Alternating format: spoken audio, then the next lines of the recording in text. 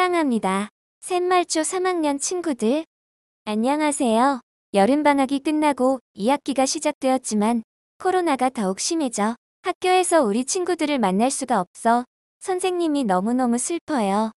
강당에서 뛰어놀며 재미있는 체육 수업을 빨리 할 수 있는 날이 오면 좋겠어요. 자, 그날을 기대하면서 2학기 체육 수업을 시작하겠습니다. 오늘 배울 내용은 2단원 도전 영역, 속도 도전, 빠르게 생생 달리기입니다. 그럼 체육책 38쪽 39쪽을 펼쳐주세요. 다 같이 빠르게 생생 달리기를 한번 읽어보겠습니다. 시작. 달리기는 팔과 다리를 움직여 정해진 거리를 빠르게 이동하는 운동입니다.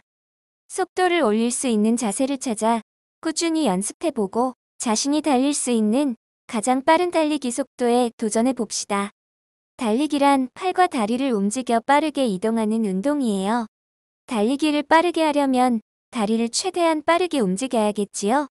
그런데 다리를 빠르게 움직이게 하려면 팔을 빠르게 움직여야 한다는 사실 우리 친구들은 알고 있었나요? 우리가 걷거나 달리기를 할 때 팔과 다리는 서로 번갈아 가면서 교차한답니다. 따라서 손이 빠르게 움직이면 그만큼 다리도 빠르게 움직인다는 말이지요. 그럼 우리 친구들 재미있는 실험을 하나 해볼까요? 모두 자리에서 일어나서 양팔을 몸에 붙이고 무릎을 편 채로 빠르게 걸어보세요.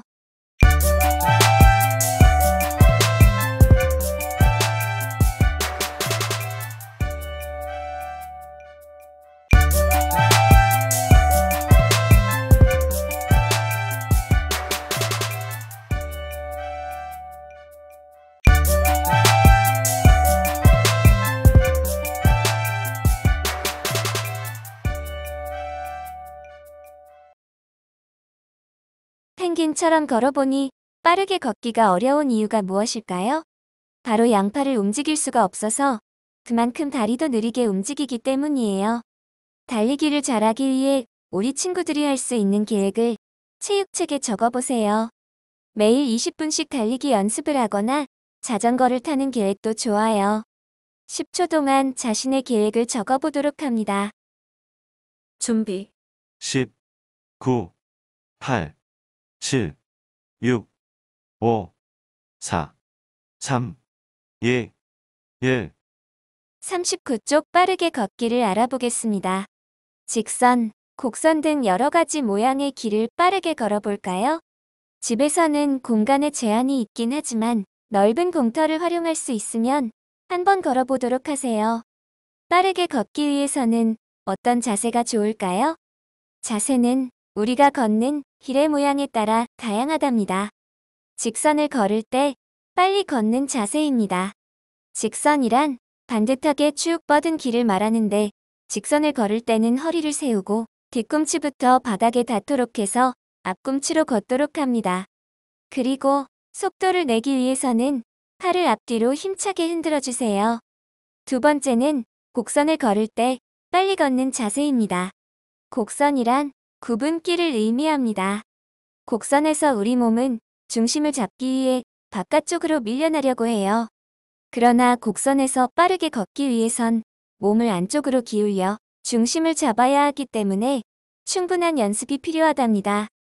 그럼 영상을 시청하면서 바르게 걷는 자세도 알아보세요. 착한 운동의 시작. 바르게 걷기. 시선은 앞으로.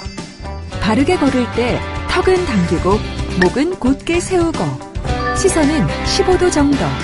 10에서 15m 내외로 멀리 바라보고 걷는 것이 좋습니다.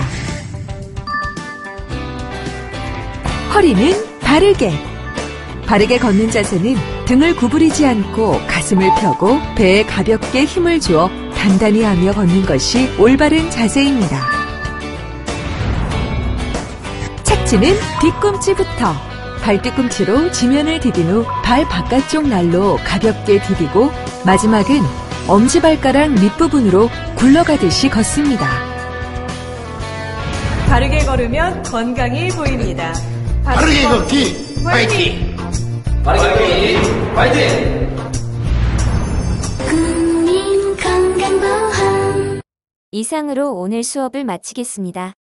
수고했어요. 다음 시간에 만나요.